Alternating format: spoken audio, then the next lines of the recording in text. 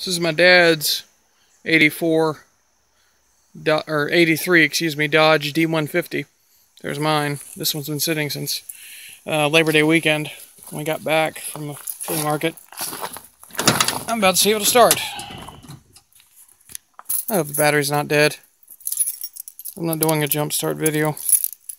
Can't be bothered. Let's see if I can find the damn key here. I got two sets of Dodge keys. Yeah, I know it's messy in here. Ah, oh well. Smells like a gym locker. Thanks my brother. Let's see if it goes.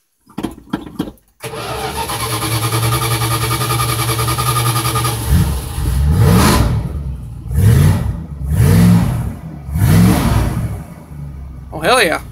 Hell yeah. She fired right on up. Ah.